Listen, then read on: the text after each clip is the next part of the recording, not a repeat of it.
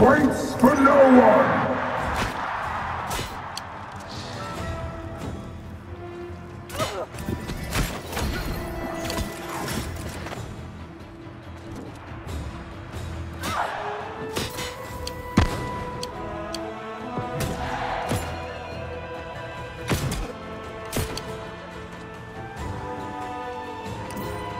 Don't